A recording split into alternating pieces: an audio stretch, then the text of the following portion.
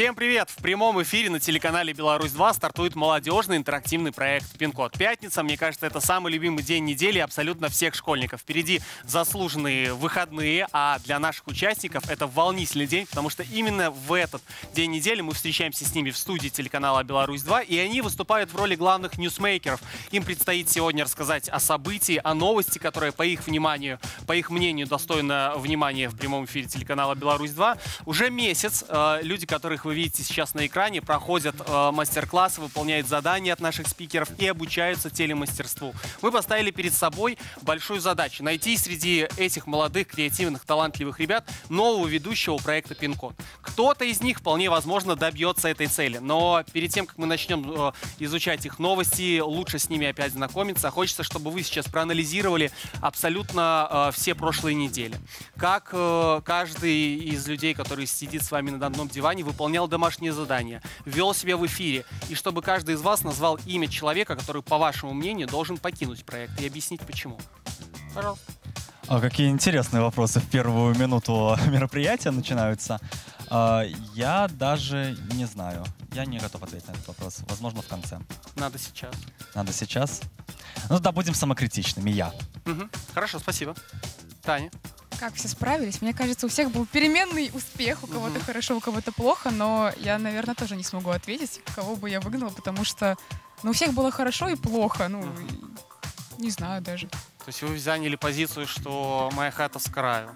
Но Не, ну почему? назвать человека. Я не самокритична, но я, например, не вижу, кто бы мог вот прямо сейчас уйти. Мгм. Хорошо, Эмилия.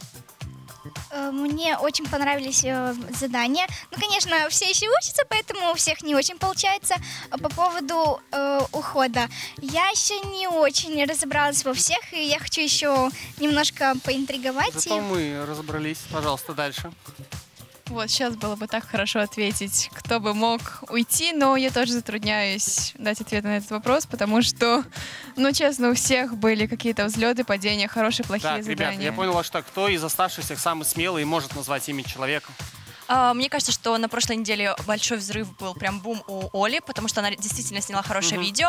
А из э, тех, кому нужно уйти, мне кажется, что слабое видео, самое слабое было, к сожалению, у Эмилии. Посмотрим, э, согласна ли наша авторская группа э, с твоим мнением. Напомню, что по результатам э, мастер-классов и домашнего задания мы всегда даем один иммунитет. И на прошлом мастер-классе был ваш спикер я, поэтому я посмотрел домашние задания, и по моему очень субъективному мнению, лучшее домашнее задание было у Эмилии.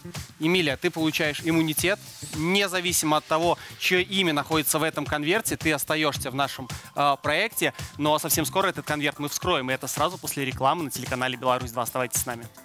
В прямом эфире на телеканале «Беларусь-2» молодежный интерактивный проект «Пин-код». В пятницу мы знакомим вас с претендентами на возможные э, ребят, которые попадут в э, команду «Пин-код». И вот, возможно, сейчас в студии находятся именно они. Луханина Таня и Карабан э, Даниил. Привет, ребята. А, всем привет, Привет. Ну, как вам домашнее задание, которое вы получили на прошлой неделе? Расскажите, что за идея была. Э, Честно рассказать? Сейчас, сейчас, да, я сам себя подставил, я молодец, я зайка-лапочка, я сам себе выбрал вольбиолога, как я очень громко кричал, что я его хочу. А в чем было задание? А, в чем было задание было записать интервью с э, человеком профессии 21 века. Мгм. Таня, твои мысли.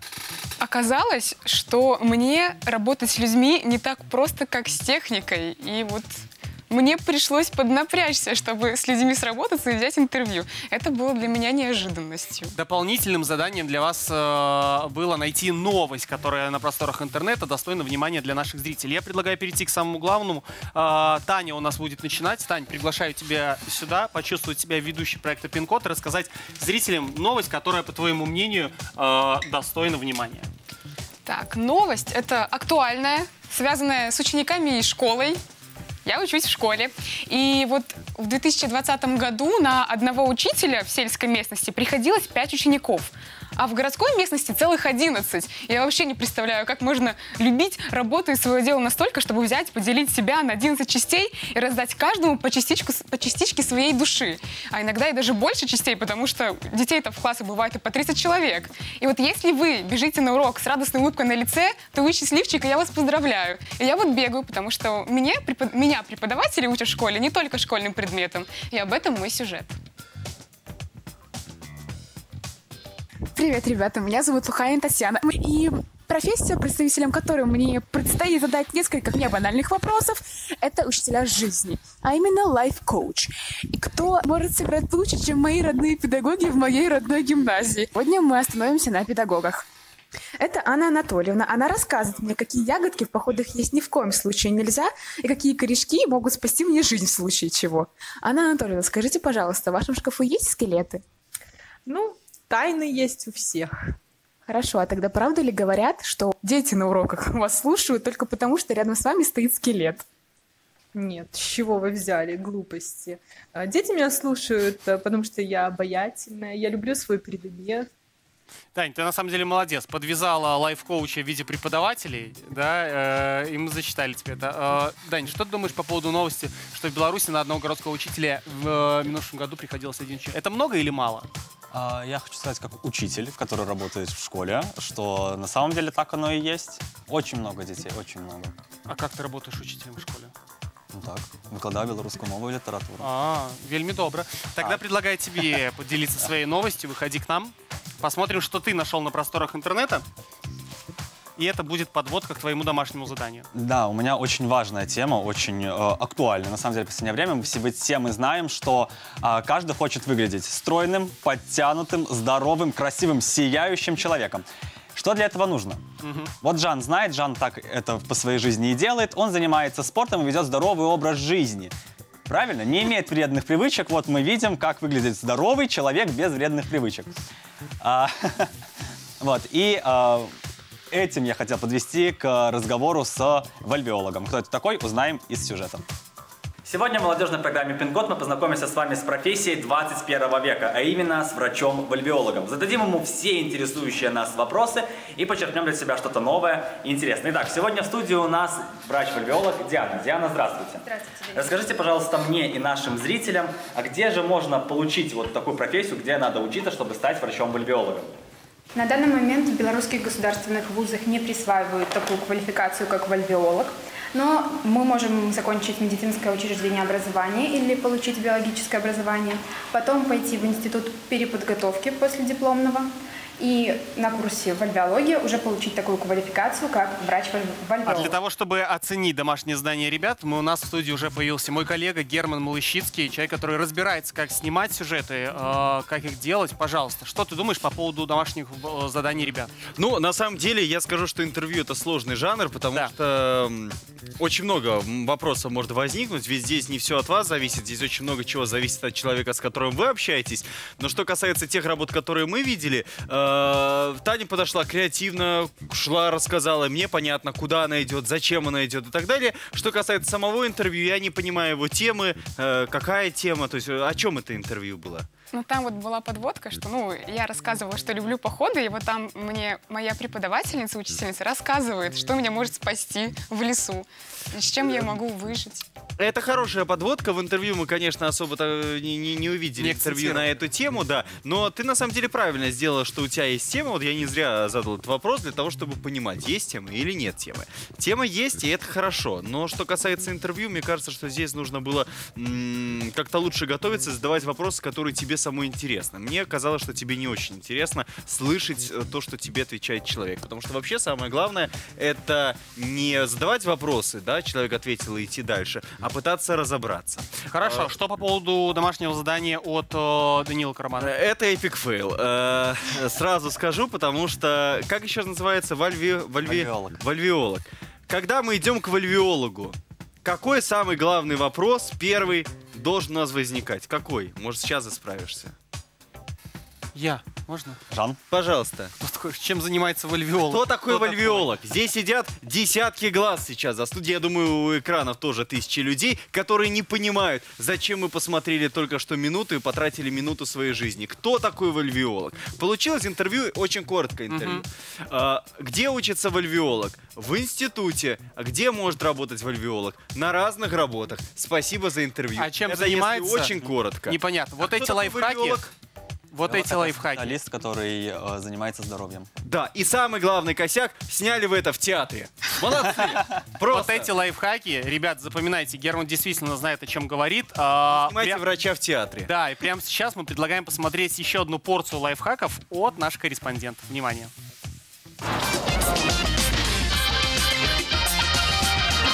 Всем привет! Меня зовут Саша. Сегодня я покажу, как сделать классный сувенир из обычного полотенца. Да, да, да, вам не показалось из обычного полотенца. Получится такой милый медведь, который станет практичным и красивым дополнением к подарку. Нам понадобится махровое полотенце. Оно может быть большим, может быть и маленьким. Все зависит только от вас. Три резиночки и одна ленточка, которой мы украсим наш подарок. Если ты думаешь, что это сложно и долго, засекай время и смотри внимательно. Разложи полотенце на чистой и ровной поверхности. Скрути вот в такой рулон. Сначала один его конец, а затем второй.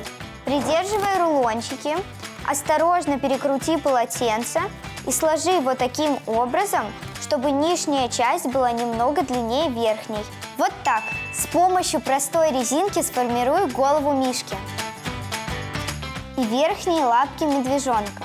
И осталось сформировать уши. Как это сделать?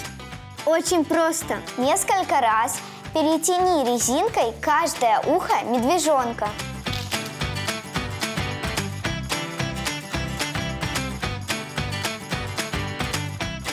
А на шею повяжи красивую ленту. Осталось красиво оформить медвежонка в праздничную упаковку, и подарок готов. На этом у меня все.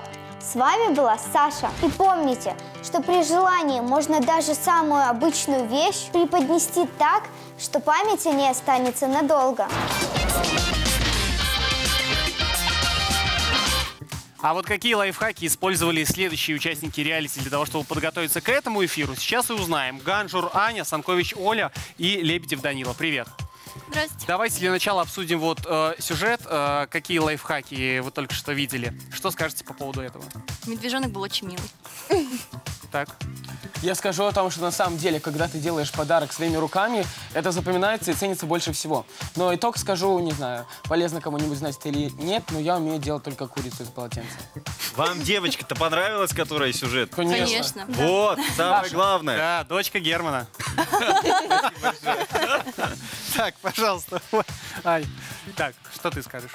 что цена подарка не так важна, и получить что-то, сделанное своими руками, то, на что ты потратил время, силы, гораздо ценнее и гораздо полезнее. Ну вот насколько много времени ты потратила на подготовку своей новости, мы сейчас и узнаем. Приглашаем тебя, ты у нас первая, имеешь возможность побыть частью проекта Пин-код и рассказать о событии, которое, по твоему мнению, достойно внимания всех зрителей.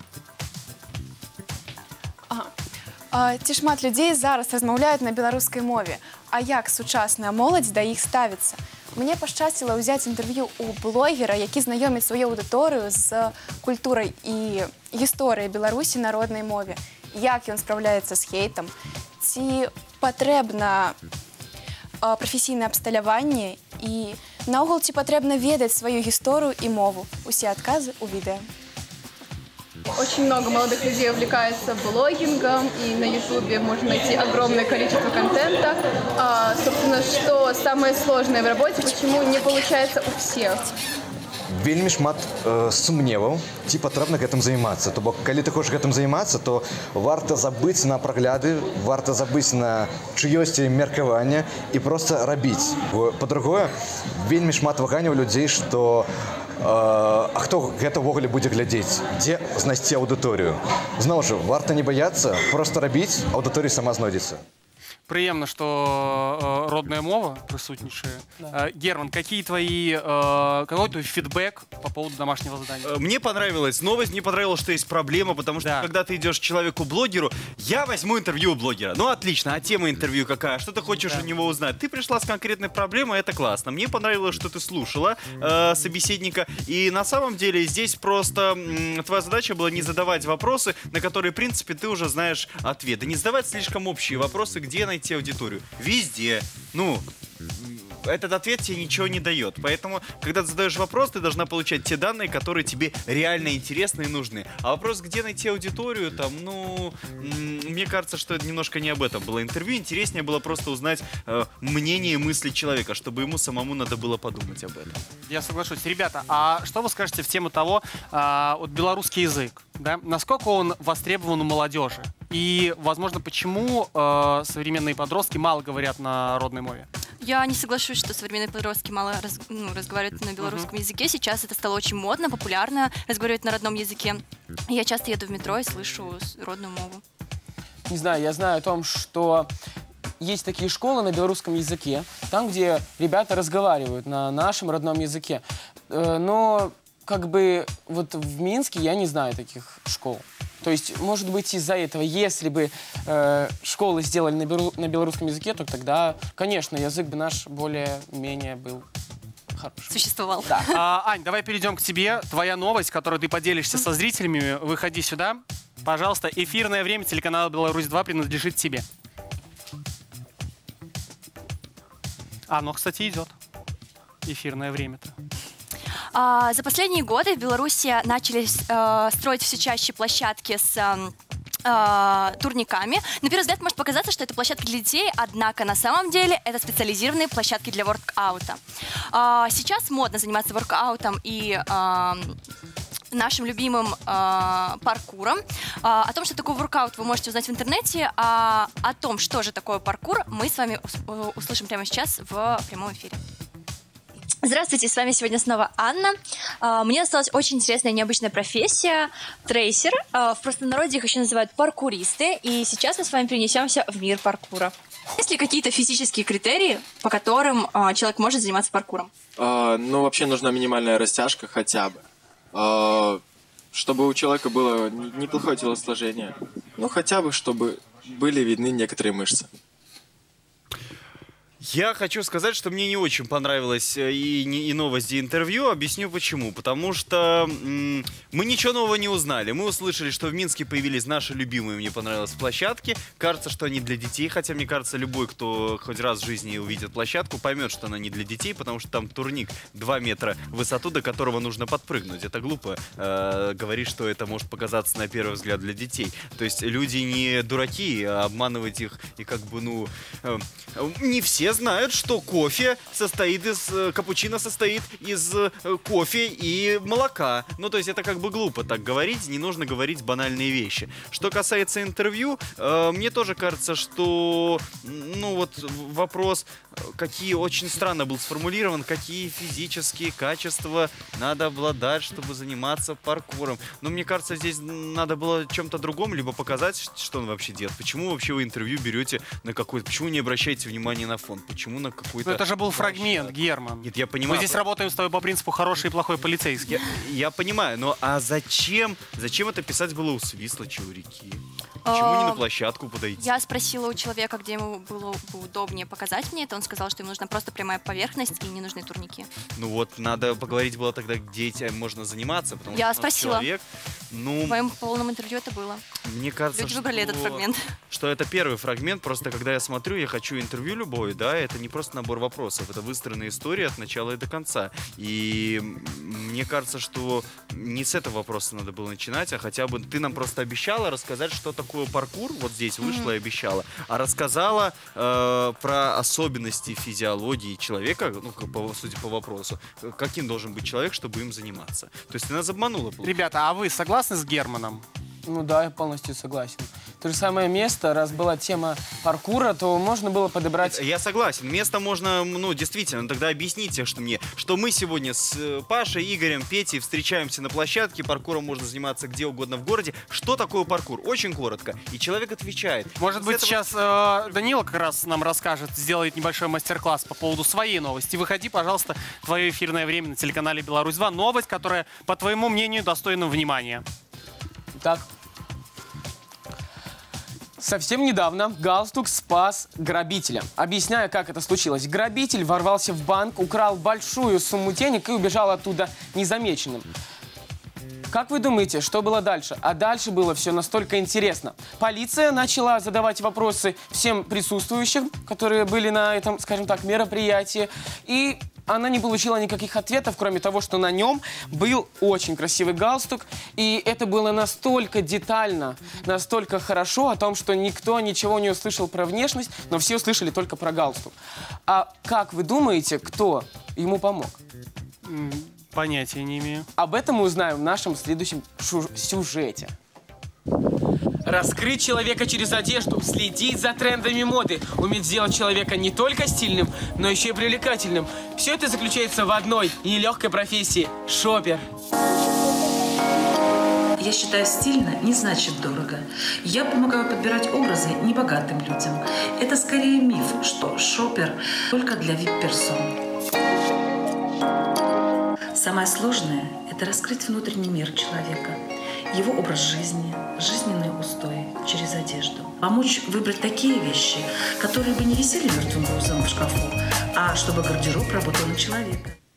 Э, Для зрителей поясню, просто очень смешно было. Не Данила Да, не Данила экране, да. Лебедев в, в кадре был. Но что я хочу сказать? Я хочу сказать, что э, интересная новость абсолютно неверно подана. Э, самая большая ошибка, вообще как строится любая новость, да? Вы рассказываете, что, где, когда, подробности и вывод, да? М, Ну, в данном случае, там, в сюжете есть э, вы- вывод, да? Но получается, что нет структуры. Ты даже не сказал, где это произошло. Вот мы все слушали, а, а где? Ну, то есть В интересно. Германии 6 апреля. Но время-то уже ушло. Да, Все, понимаю. все. Что, где, когда. Подробности, вывод. Подробности тоже. Там было столько слов про полицейских, что они хотели допросить там это, допросили, ничего не узнали.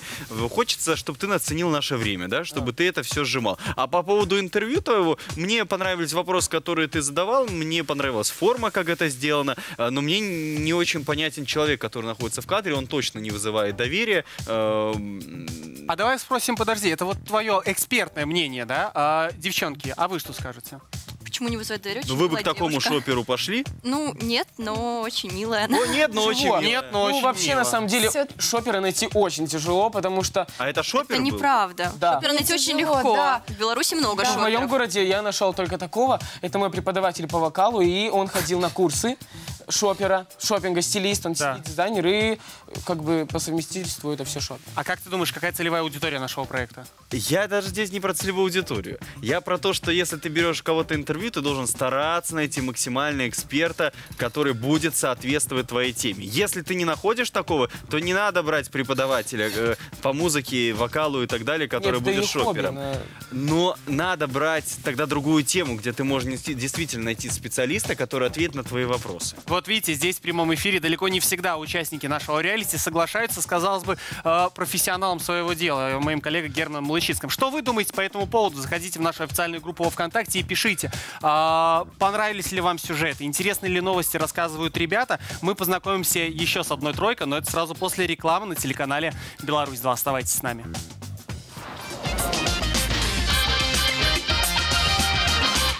Проект «Пин-код» в эфире телеканала «Беларусь-2». У нас в студии находится очередная тройка наших участников э, реалити-проекта «Пин-код», где они стремятся стать ведущими нашего проекта. Рома, Илона и Эмилия. Привет, девчонки и Привет, мальчики. Жан. Привет, Жан.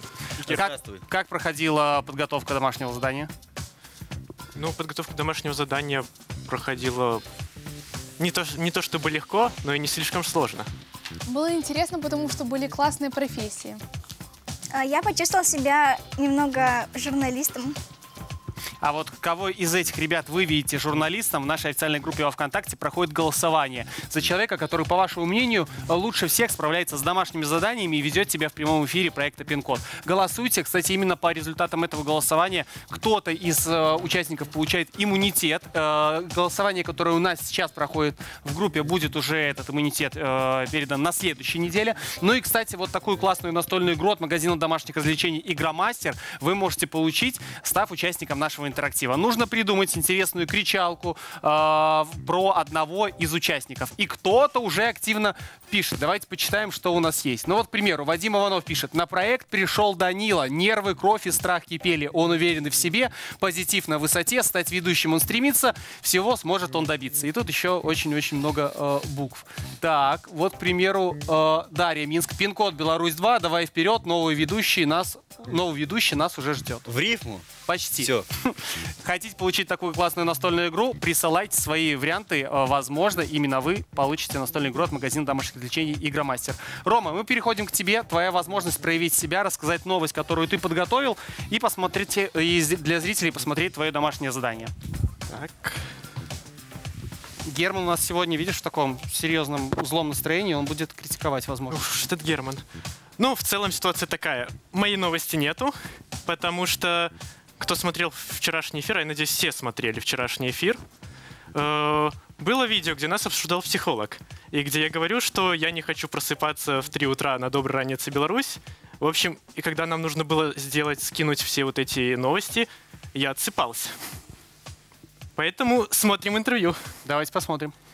Профессий много, но очень интересная профессия спичрайтер. И о ней нам расскажет пресс-секретарь Министерства по чрезвычайным ситуациям Виталий Новицкий. По своей основной должности я помощник министра пресс-секретарь, и понятно, что написание речей для руководителя министерства это входит в мои непосредственные обязанности. Нужно понимать, что первая задача спичрайтера это сделать так, чтобы в случае любого форс-мажора или отсутствия времени у руководителя он мог взять подготовленную тобой речь, зачитать ее, и она бы, ну, скажем так, соответствовала ожиданиям аудитории. Случается ли, что человек, для которого написана речь, импровизирует? Герман, Мы посмотрели видно, фрагмент. что ты уже недоволен. Нет, мы посмотрели фрагмент. Я очень недоволен эм, неподготовкой новости, потому что мы-то работаем здесь в прямом эфире, и эм, на самом деле телевидение это мир жестких дедлайнов, и если их не выполнять, то м, работать, мне кажется, будет невозможно. Можно быть очень талантливым журналистом, очень хорошо писать тексты, но если ты не умеешь работать в рамках дедлайнов, то, к сожалению, путь на телевидение закрыт. Ну, как ты мне про это кажется. знаешь, конечно. Но в том задании просто не был указан дедлайн. Понимаешь, неважно э, здесь указан дедлайн или нет, сегодня вот у нас эфир, э, я так понимаю, новости не было, все. А давай сделаем акцент на видео, которое Ром подготовил. Какие моменты тебе, может быть, понравились? Мне не понравилась подводка, она была такая, все профессии важны, все профессии нужны, но говорим про спичрайтера, вот, если очень коротко. А само интервью мне понравилось, кстати, э, были конкретные вопросы, я понял, кто это, мне было интересно послушать его дальше, полная версия, кстати, у нас есть, мы показываем, напомню, только маленькие кусочки, чтобы ваше время не терять. Э, Мне, в принципе, понравилось. Найдется ли среди э, девчонок, которые остались на диванах, э, человек, который э, сможет удовлетворить Германа Малыщицкого? Вот такая подводка. А, Илон, тебе На дается твоей возможность. совести, на твоей совести же. На моей совести. Илон, твоя возможность, пожалуйста. Я это сказал. Ты можешь уже общаться со зрителями. Да. Знаете ли вы, что сделал Национальный банк Беларуси, чтобы цены в магазинах не росли? Он поднял ставку рефинансирования до 8,5% годовых. С одной стороны, кредиты стали дороже. С другой стороны, это способ ограничить предприятия, чтобы они не брали эти кредиты и не включали проценты по ним в цену косметики, одежды или туфелек. И что мы видим? Доллар и евро пошли вниз. Так что наши путевки на море становятся немножечко доступнее. А о том, что банкир на самом деле это трейдер, смотрите в моем сюжете. Александр, трейдер это кто? Трейдер – это торговец на рынке валют, акций, ценных бумаг. Суть его работы – это арбитраж. На разнице он и зарабатывает. Арбитраж? Это как арбитр футбольного матча, что ли? Почти, только это не игра мячом, а игра валютой. Например, все банкиры – это трейдеры. Они спекулируют на разнице курсов валют. Банкиры — это трейдеры? А как же все эти картинки теперь, где много людей, которые махают руками, где много мониторов? А, Нет, Я думаю, что да, мы кусочек биржах посмотрели, здесь можно уже сразу сказать, что мне не понравилось, что мне понравилось. Мне не понравилась абсолютно тема, потому что все-таки мы должны понимать, кто у нас зритель, для чего мы это делаем. И мне очень странно, Илон, такой твой выбор темы. э, Темы профессии или темы новости? Девальвация там и так далее. Но мне кажется, что все это... э, не знаю, мне лично это не, не, не так интересно. Но ты молодец, что ты, несмотря на то, что рассказывала новость, для многих, может быть, очень скучную, э, для многих полезную, но ты попыталась найти то, вот как это на нас влияет, на нашу жизнь, да, что вот подорожают путевки. О, мне тогда сразу стало понятно. Ну, все, путевки подорожают. Я расстроился, уже забронировал белорусский санаторий. Вот, а что касается самого интервью, э, ты здесь на самом деле молодец, что ты вот не боялась, знаешь, показаться, ну, такой вот, ну, не то, что глупой, да, а показаться, не, ну, то, что ты что- чего-то не знаешь. Ты действительно не знаешь, что такое а- ар- арбитраж, там, чем занимается арбитр, да, Да. э, вот. А Ты не знаешь этого, и ты смело спрашиваешь. То есть я тоже не знаю, и ты это не стесняешься, поэтому это мне понравилось. Мне не понравилась тема. А еще из того, что мне не понравилось, то, что ты особо не слушала, э, не слушала человека, который тебе отвечает. Я видел, что у тебя прописаны дальше вопросы. Ты молодец, что подготовилась к интервью, но ты должна действовать по ситуации не исходя из тех вопросов, которые у тебя написаны, А из да, ответов? в сценарии, а исходя из ответов, понимать и слушать. То есть на интервью важнее не задавать вопросы, а слушать, чтобы зацепиться и пойти дальше. Илон, ты согласна с этим комментарием? Ну да, в принципе, да.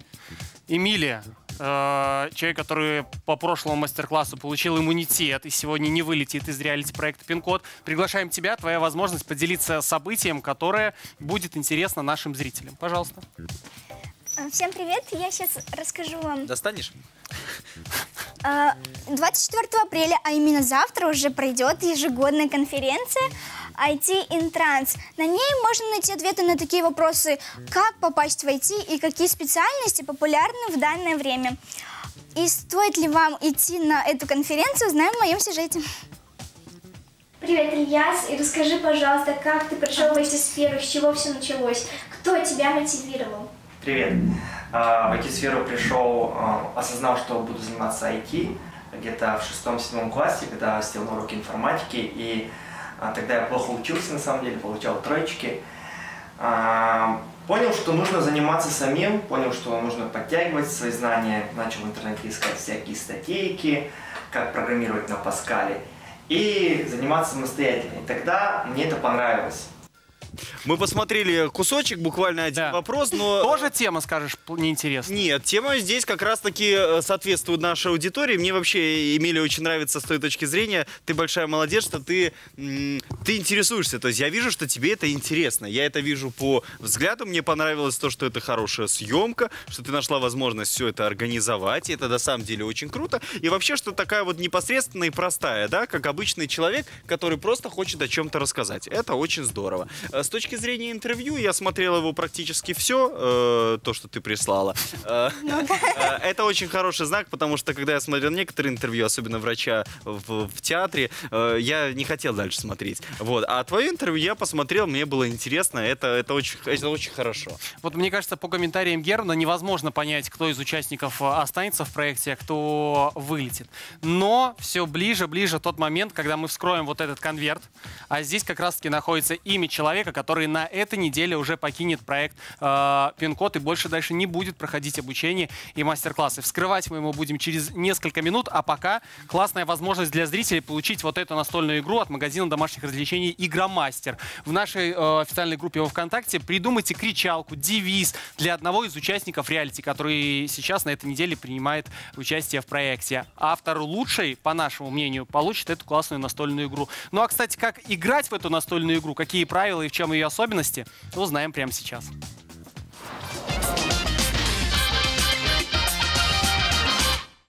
Привет, пинкотики! С вами снова я, дарительница подарков, и сегодня я вам расскажу про игру «Неудержимые единорожки». В этой карточной игре есть все, что ты любишь. Единороги и разрушения. Собирай свою армию единорогов с волшебными способностями. Переманивай или заколдовывай единорогов соперников и захватывай мир. Перед игрой всем раздается по одному единорожку. Дальше мы смешиваем бонусы и единорогов в одну большую колоду. Бонусы и штрафы помогут сделать это коварно, весело и непредсказуемо. И каждому игроку раздается по 5 карт.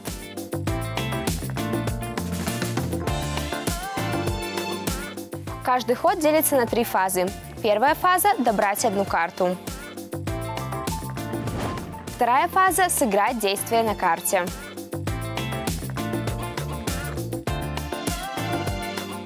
А третья фаза – сыграть карту штрафа или заклятия.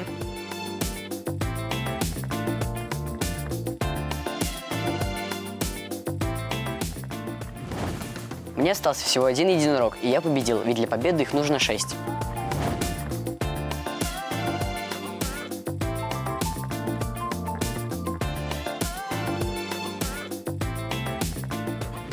Если ты думаешь, что ты такой же везучий, как Илья, то участвуй в нашем интерактиве и забирай эту игру.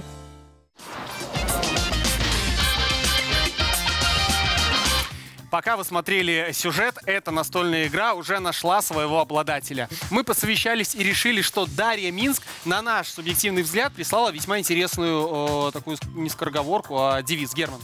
Давайте я почитаю, да. На пин-коде шум и гам выбирают асов там. Каждый день отсев идет, только лучше все пройдет. Даша Минск, именно так зовут э, пользователя. Ты получаешь вот эту настольную игру, мы свяжемся с тобой, поздравляем. Ты стала победителем нашего интерактива. А теперь переходим к самому главному. Герман. Самому грустному. А Самому- почему я? Почему, почему, Нет. почему ты сразу ко мне обращаешься? Конверт в любом случае у меня. А, может быть, какое-то напутствие для ребят? Ребят, относитесь ко всему серьезнее на самом деле. Хочется, чтобы вы, посещая наши мастер-классы, не просто слушали то, что вам рассказывают на них и так далее, а чтобы вы это применяли на практике. Э, Это такое маленькое напутствие, маленькое пожелание. Потому что сегодня в интервью, к сожалению, практически у всех были одни и те же ошибки, э, которые можно было избежать, если вы внимательнее отнеслись к мастер-классу. Может быть, э, у вас появились все-таки имена, которые вы можете назвать, кто, по вашему мнению, должен покинуть проект? Потому что вот эта вся ванилька, которой обладаете вы, не называя имен, стараетесь быть э, такими перламутровыми, прям не всегда есть хорошо. Я могу предложить, э, так сейчас сломать нашу всю схему, коль у нас еще есть немножко времени. Вот давайте так, если вы сейчас э, голосуете, принимаете решение все вместе, проголосовать за кого-то, кто убывает просто по одному имени, сейчас все Так. скажете быстро, то этот человек и покидает э, наш коллектив э, сегодня. Ну только честно давайте, да, Э, чтобы это было хотя бы хоть как-то объективно, а не самых Время сильных пошло, пожалуйста. убирать. Либо мы можем действительно открыть конверт и сказать, кто это будет. Решать только вам. Он сам все решил. На самом деле, мне кажется, все за то, чтобы вы сами открыли конверт. Все согласны? Мы можем проголосовать. Лоббирует. Давайте, э, вы прям согласны, что Даника надо убрать? Поднимите руку, Нет, нет, нет, нет. Это была плохая шутка. Ну что, вы называете имена или мы вскрываем конверт? Решите, пожалуйста. Скрывайте конверт. Я вам скажу так, что имя человека, который написан здесь, очень сильно повлияла домашняя работа, а, которую вы делали вне эфира. Мы оцениваем и то, как вы ведете себя в эфире в том числе. Мы просматриваем всегда пятничные выпуски, следим за вами, насколько вы активно принимаете участие в той или иной новости в обсуждении. Добавишь что-нибудь? Нет. Итак, вскрываем конверт. Человек, который, к сожалению, покидает наш обучающий процесс, это Рома Минчуков.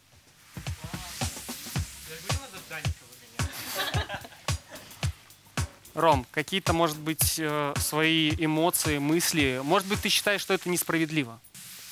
Нет, я считаю, было несправедливо по отношению к Виолетте. Верните Виолетту. А почему?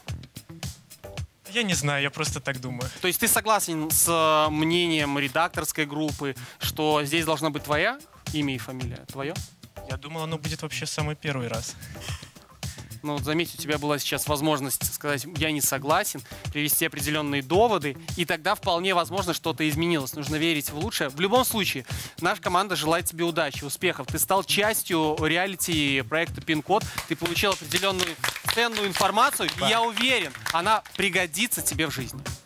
Мы хотим, чтобы вы понимали, что теперь с каждым днем будет оставаться все меньше и меньше участников, а э, мы не просто так сражаемся за возможность оставаться дальше здесь. Мы действительно ищем тех, кто пополнит нашу команду, кто будет получать деньги, кто будет работать и кто будет появляться, самое главное, в эфире семейного, молодежного, прекрасного канала «Беларусь-2». Цените ту возможность, которая у вас появилась. Э, Ловите каждый момент знаний, которые вы получаете на мастер-классах, потому что это правда важно.